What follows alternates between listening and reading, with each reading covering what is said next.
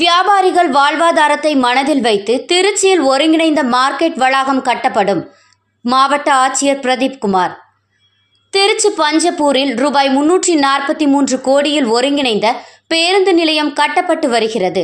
மேலும் அதனை சுற்றி பல்வேறு கட்டமைப்புகள் கொண்டு வரப்பட உள்ளது.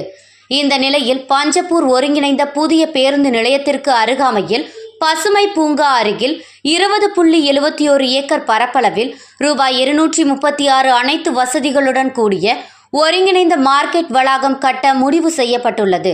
இது தொடர்பான கருத்து கேட்டு கூட்டம் திருச்சி மாவட்ட ஆட்சியர் அலுவலகத்தில் இன்று நடந்தது. மாவட்ட ஆட்சியர் பிரதீப் குமார் தலைமை தாங்கினார். மாநகராட்சி ஆணையர் சரவணன் முன்னிலை வகித்தார்.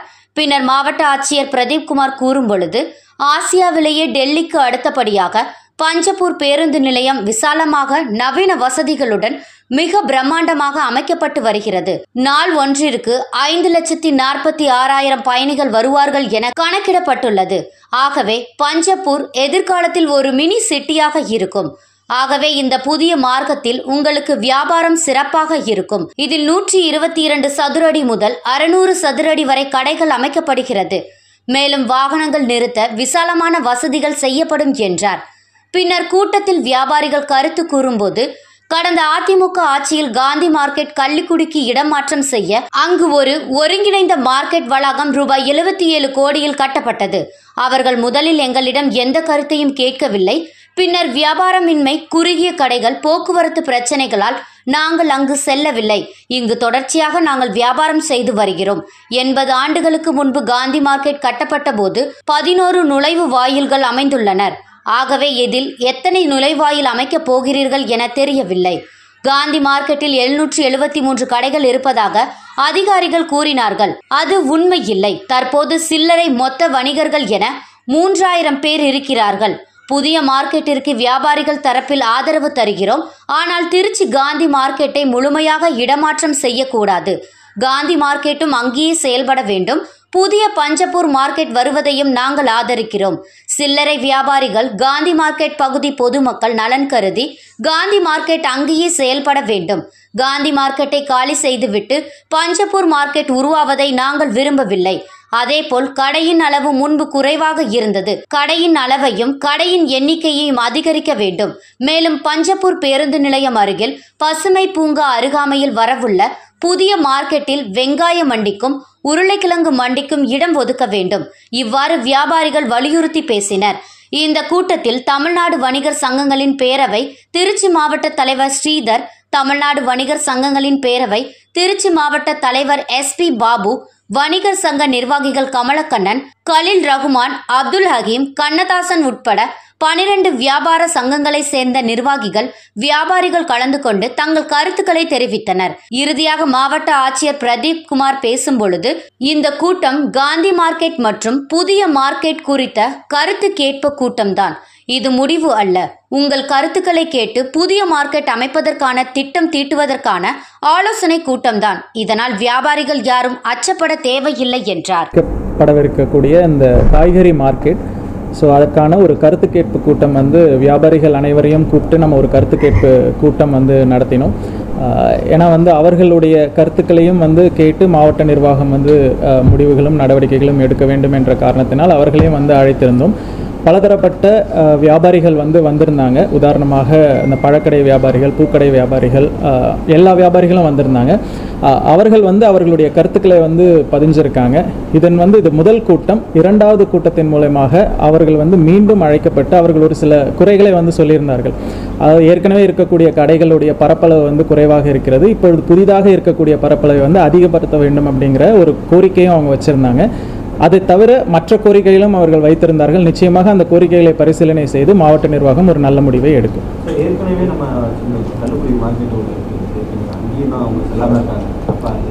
இல்லை முதல்ல கொஞ்சம் அது அவுட்டராக இருந்தது அப்படிங்கிறதுக்காக அந்த கள்ளுக்குடி மார்க்கெட் வந்து ரெண்டல் போகாமல் இருந்தது. இப்போ பஞ்சப்பூர் வந்ததுக்கப்புறம் இப்போ ஸ்லோவாக வந்து அதில் ரெண்டல் வந்து கொடுத்துட்ருக்கோம் காந்தி மார்க்கெட் அப்படி இருக்குமா சார் எடுத்துட்டு வேற மாதிரி பண்ண போறது தான் கார்பரேஷனோட முடிவு.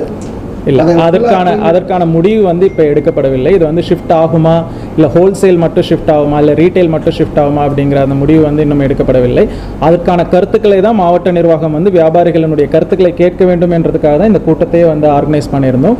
அவர்களுடைய கருத்துக்கள் கேட்கப்பட்டிருக்கிறது. அதன் ஆய்வின் அடிப்படையில் அந்த முடிவுகள் வந்து எடுக்கப்படும். இல்லை சார் பழைய முடிவு என்னன்னா? மொத்தமாக இந்த மார்க்கெட் இருக்கக்கூடாது. கொஞ்சம் எடுத்துட்டு க்ளோஸ் பண்ணிட்டு தான் நம்ம அடுத்து போகணுன்றது இல்ல. இப்போ அதில் ஏதாவது சேஞ்சஸ் இருக்கா? இந்த இது அப்படியே தொடர மாதிரி ஏதாவது இப்பொழுது இந்த கருத்து கேட்பு கூட்டத்தில் வியாபாரிகளுடைய கருத்துக்களை நாம் இப்போ வந்து கேட்டிருக்கோம். இன்னும் அதற்கான முடிவுகள் வந்து எடுக்கப்படவில்லை. இந்த கருத்துக்களின் அடிப்படையில் நம்ம மாவட்ட நிர்வாகத்தினுடைய முடிவுகள் இருக்கும். சார் இந்த புதிய புதிய மார்க்கெட்டு சார் எவ்வளோ எஸ்டிமேட்டில் எவ்வளோ பரப்பளவு கிட்டத்தட்ட இரநூத்தி ஐம்பத்தி ஆறு கோடியில் வந்து எஸ்டிமேட் போட்டிருக்கோம். ஏற்கனவே உங்கள் எல்லாருக்கும் தெரியும் ஐபிடி இன்டகிரேட்டட் பஸ் டெர்மினஸ் வந்து அங்கே வந்துட்டுருக்கு. அது இல்லாமல் வந்து ட்ரக் டெர்மினல் அது ஆல்மோஸ்ட் முடிகிற தருவாயில் இருக்குது இந்த இரநூத்தி ஐம்பத்தி ஆறு கோடியில் வரக்கூடியது வந்து கிட்டத்தட்ட எட்நூற்றி அறுபது கடைகளை வந்து உள்ளடக்கிய ஒரு மிகப்பெரிய ஒரு வெஜிடபிள் மார்க்கெட்டாக அங்கே வரும்.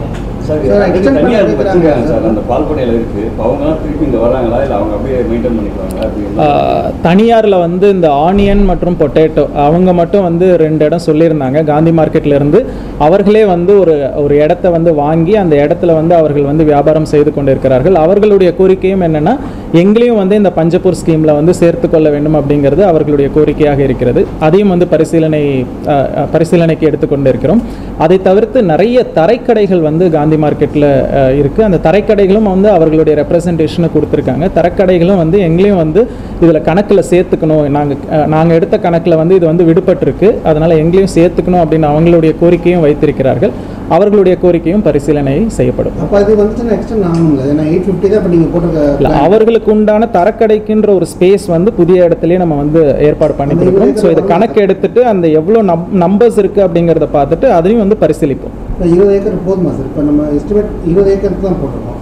அவங்களோட த்ரீ தௌசண்ட் சொல்லும்போது இல்லை அவங்க டூ தௌசண்ட் சொல்கிறாங்க நம்மளுடைய கணக்குப்படி ஹோல்சேல் வந்து முந்நூற்றி தொண்ணூற்றி எட்டும் ரீட்டைல் ஒரு முந்நூற்றி அறுபதும் நம்ம சொல்கிறோம் பட் அவங்க வந்து டூ தௌசண்ட் சொல்கிறாங்க அது திரும்ப வந்து நம்ம கணக்கு எடுத்தால் தான் ஆக்சுவலாக எவ்வளோ தரக்கடை இருக்குது அப்படிங்கிறது நமக்கு தெரியும். சில தரக்கடைகள் வந்து இல்லீகலாக கூட இருக்கலாம். ஆக்சுவலாக எவ்வளோ இருக்குங்கிறத திரும்ப மறு மறுபரிசீலனை செய்து எவ்வளோ கடைகள் இருக்குங்கிறத நம்ம எடுக்கணும். அகாமடேட் பண்ணிக்கலாம்.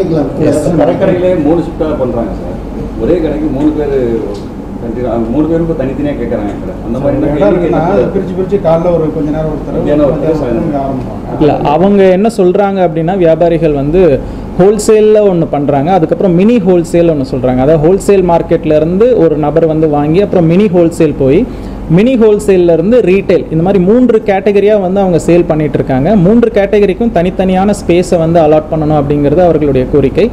அவர்கள் மத்தியிலே வந்து ஒரு சிலர் என்ன சொன்னாங்க அப்படின்னா வந்து இந்த மூன்று கேட்டகரியில் எங்களுக்கு வேண்டாம். எங்களுக்கு வந்து ஹோல்சேல் ரீட்டைல் ரெண்டே கேட்டகரியில் வந்து நீங்கள் கொடுத்தா போதும் அப்படிங்கிறது அவர்களும் அவர்களுக்குள்ளாரே வந்து இருவேறு கருத்துக்களை வந்து பகிரப்பட்டது. நிச்சயமாக ரெண்டுத்தையும் வந்து நம்ம பரிசீலிப்போம். இல்லை இப்போ ஃபஸ்ட்டு கருத்து கேட்பு கூட்டம் இருக்குது இந்த அந்த அவங்க கொடுக்கக்கூடிய கருத்துக்களை நம்ம நம்ம ஃபீல்டில் வந்து என்கொயரி பண்ணணும் ஃபீல்டில் வந்து விசாரிக்கணும். திரும்ப அந்த நம்பர்ஸை வந்து மறுபரிசீலனை செய்யணும். ஸோ அதுக்கு உண்டான டைம் லிமிட் கொஞ்சம் எடுக்கும். அந்த நியூ மார்க்கெட்டில் வந்து எத்தனை நியூ மார்க்கெட் பார்த்தீங்கன்னா நான்கு கேட்ஸ் இருக்கும். அது வந்து பார்த்தீங்கன்னா old Madurai road and new ரோட்டில் வந்து பார்த்தீங்கன்னா லெவல் டிஃப்ரென்ஸே ஒரு ஃபோர் மீட்டர்ஸ் இருக்கும்.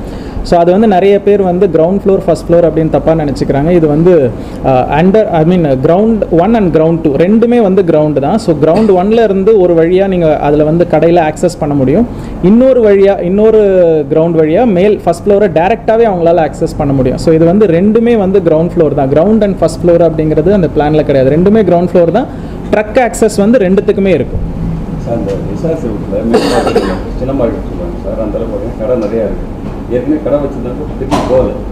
எல்லாமே வெளியில இருந்து தரக்கடை தான் போட்டிருக்காங்க. அந்த மாதிரி எதுவும் வேற அவங்க கடைக்கு அதுவும் வந்து க வியாபாரிகள் சொன்னாங்க. அதாவது வந்து நீங்கள் ஹோல்சேலை ஷிஃப்ட் பண்ணிட்டாலும் திரும்ப நிறைய கடைகள் வந்து முளைப்பதற்கான வாய்ப்புகள் காந்தி மார்க்கெட்டில் இருக்கும் அப்படிங்கிற கருத்துக்களையும் அவங்க முன் வச்சாங்க. ஸோ இதுவும் வந்து கண்டிப்பாக பரிசீலனை செய்யப்படும். அதாவது டிராஃபிக் ஆகிறதுக்கான மிக முக்கியமான காரணம் வந்து அந்த தரைக்கடையும் மற்றும் அவர்கள் ஹோல்சேலாக இயங்கக்கூடிய மற்ற கடைகளும் வந்து அந்த டிராஃபிக்கு முக்கியமான காரணம் அப்படின்ட்டு வியாபாரிகள் சொல்லியிருக்காங்க.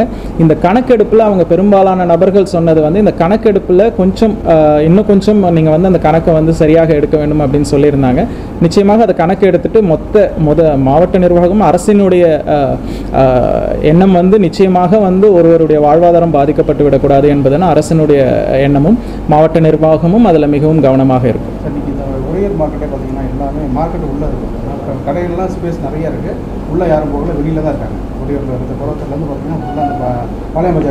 அது வியாபாரிகள் நிச்சயமாக அதை கன்சிடர் பண்ணணும். நமக்கு ஒரு ஸ்பேஸை வந்து வியாபாரிகளுக்கு அலாட் பண்ணுறோம் பட் அந்த ஸ்பேஸில் இல்லாமல் வெளியில் வந்து கொஞ்சம் ப்ரொஜெக்ட் பண்ணி எக்ஸ்டெண்ட் பண்ணி சில கடைகள் வந்து இருக்கிறது. அது நிச்சயம். வியாபாரி தரப்பு வந்து என்ன சொல்கிறாங்கன்னா சார் நீங்கள் வந்து வெளியே போக சொல்றீங்க ஆனால் புதுசாக எவனா கடை வந்துன்னா அவங்கள்ட்ட நீங்கள் வந்து ஏதாவது பைசா வாங்கி விட்டுறாங்க அப்படின்னு சொன்னால் அதனால வந்து எங்களுடைய வியாபாரம் பாதிக்குது. யாரும் மக்கள் உள்ளே வர மாட்டேங்கிறாங்க. ரெகுலர் அந்த பிரச்சனை இருக்கு சார்?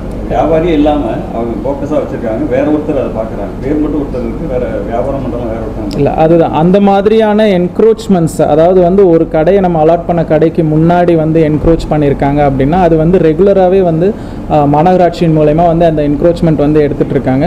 அவர்கள் கடையை வந்து மறைக்கிற மாதிரி இன்னொருத்தர் புதிதாக வந்து அங்கே வந்து ஒரு தரைக்கடை போட்டால் நிச்சயமாக நடவடிக்கை எடுக்கப்படும். ஓகே நன்றி. நன்றி.